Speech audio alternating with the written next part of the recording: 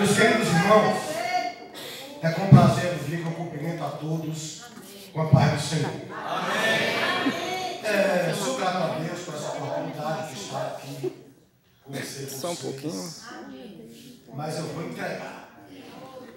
Você já imaginou você conduzir um veículo de catu aqui e lá faz aquela pressão enorme. Rapaz, é- dá uma canseira que vocês nem imaginam. Mas Deus é bom. Na paz do Senhor.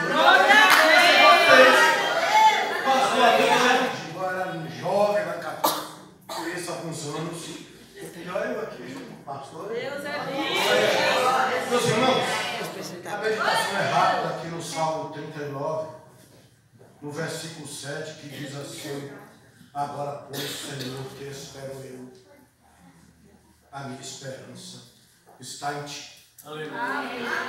Nós observamos nos nossos dias, o hino já fala que tudo nos mostra que Cristo já volta. E devido a isso, nós temos vivido momentos difíceis. O negócio está ficando apertado. É verdade. E isso está mostrando a vinda de Jesus que se Oh, aproxima. glória!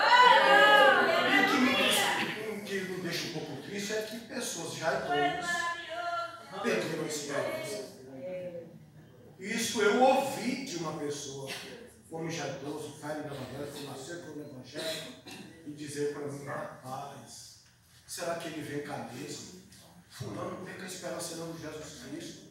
A Bíblia nos, nos diz que nós devemos permanecer até o fim. Aleluia. Ainda que seja difícil, não é fácil. Nós observamos aí fora que é muito difícil. Mas a nossa esperança está no Senhor. Eu não, não nasci cagando, mas fui criado cagando. Vivi muitos anos ali, nunca chegou um crente na minha porta. E já conheci o Evangelho já velho. Infelizmente que falar isso. Mas aí sim, eu que vivia sem esperança.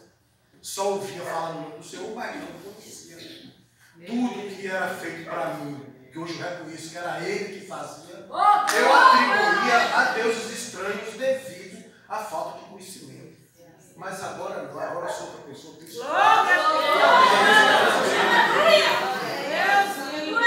Meu irmão, se tiver alguma dificuldade na sua vida, se você, mesmo que seja o problema que você está passando, mantenha firme nessa esperança. A nossa esperança, olha, está no Senhor. E se tiver alguém Glória a Deus. que não aceitou Jesus ainda, Glória a Deus. hoje, Faz Deus milagre. vai fazer essa coisa. Qual é a sua esperança se Deus hoje pedir a sua alma? Eu vivia assim, eu que estava tudo bem e não estava. Hoje eu vejo que eu não tinha esperança nenhuma, a esperança é agora. Glória a é bom falar que Jesus é o Senhor, né? Obrigado pela oportunidade, de coração. Deus. É um prazer conhecer você. Deus. Amém.